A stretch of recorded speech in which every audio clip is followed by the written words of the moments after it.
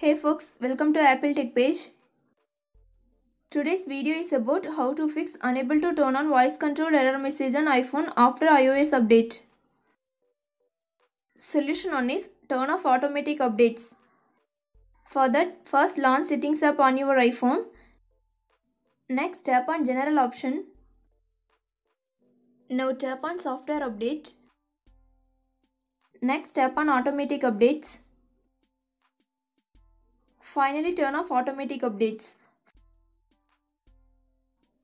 Also turn off automatic app updates. For that launch settings app on your iPhone or iPad. Tap on your name. Next tap on iTunes and App Store. Under automatic downloads, turn off apps update. Solution 2 is turn off low power mode. Open settings app. Find and tap on battery. Then turn off low power mode. Solution 3 is turn on background app refresh. Launch settings. Scroll down the screen and tap on general option. Next tap on background app refresh. Again tap on background app refresh. Here you have to select Wi-Fi and cellular data. Solution 4 is force restart your device.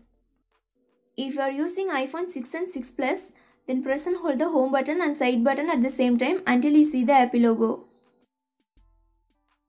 If you are using iPhone 7 and 7 Plus, then press and hold the sleep or wake button and volume down button at the same time until you are getting the Apple logo on your iPhone screen. If you are using iPhone 8 and later models, then press and release the volume up button. Next press and release the volume down button. Finally press and hold the side button until you see the Apple logo. Solution 5 is reset network settings. If it's a network related issue, then the solution helps to solve this issue. Launch settings app. Find and tap on general. Next tap on reset option. Select reset network settings. Solution 6 is reset all settings. Tap on settings icon from the home screen. Now tap on general option. Next tap on reset. Then select reset all settings and enter the passcode. Again tap reset all settings to confirm this process. Like, share and subscribe to Apple Tech page.